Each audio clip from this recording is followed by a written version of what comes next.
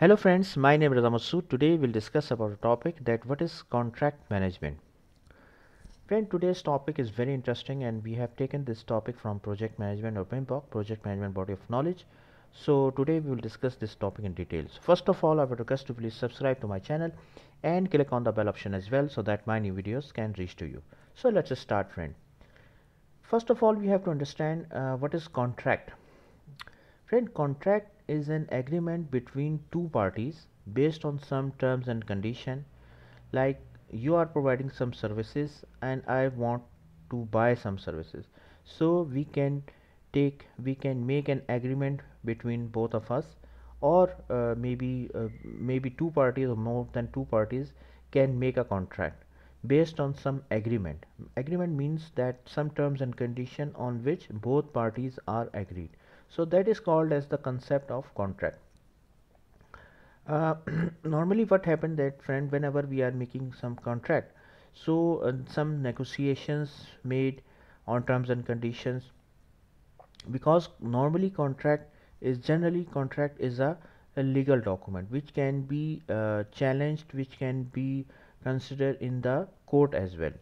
So uh, whatever the agreement you are going to make this is necessary that negotiations should be made on the terms and condition and once both parties are agreed on the terms and conditions the contract can be made. So that is called as the basic concept of uh, contract.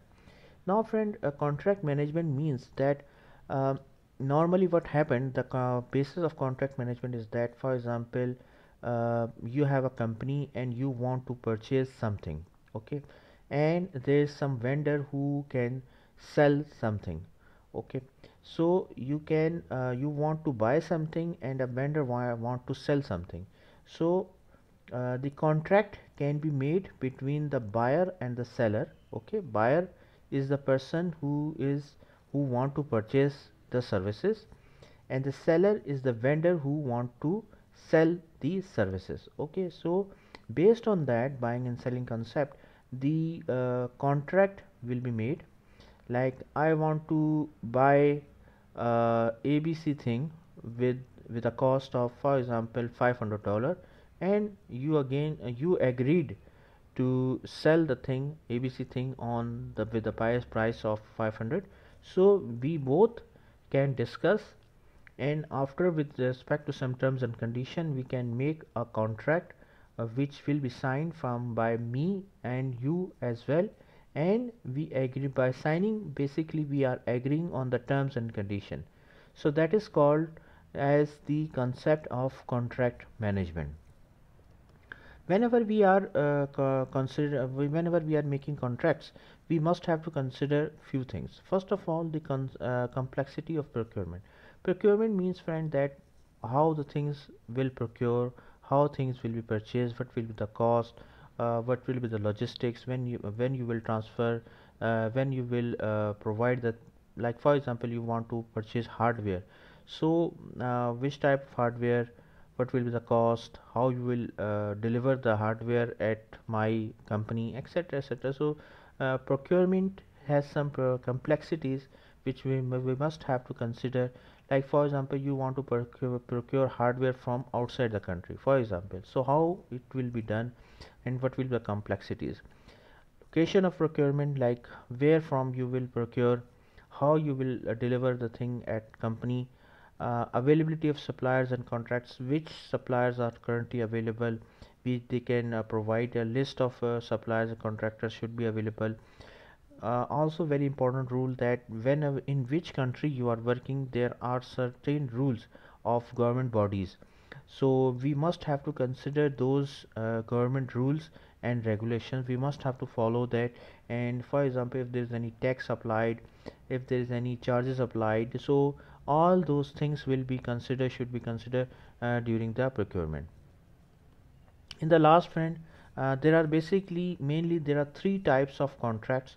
Uh, first one is the fixed price contract. Fixed price means that the contract in which the price is fixed. For example I want to make a, a mobile application and I will take uh, for example $400 for uh, building the mobile application. Okay either it will take uh, 5 months either it will take 8 months I will take 500 400 dollar for making the mobile application.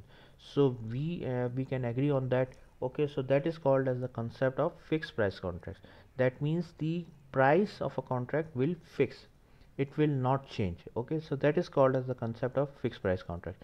Then the next one is the cost reimbursable.